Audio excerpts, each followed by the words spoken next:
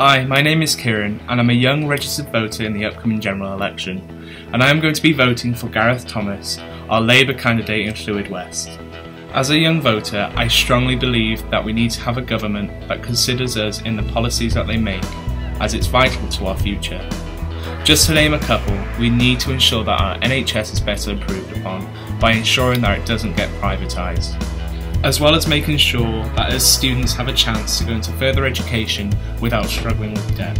If you aren't registered to vote for the upcoming general election, you have until the 22nd of May to register to vote at gov.uk forward slash register to vote. It takes a few minutes to do so and it means so much for your future.